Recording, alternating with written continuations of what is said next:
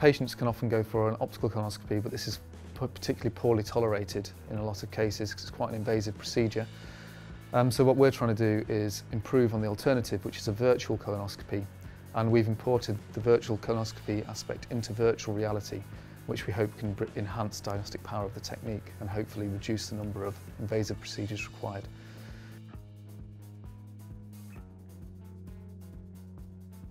A lot of the development for this project has actually been done by undergraduate students through summer placements via the Think Ahead SURE scheme at the University of Sheffield. And that's been both rewarding for the project and it's got us to where we are today and it's been rewarding for the student as well.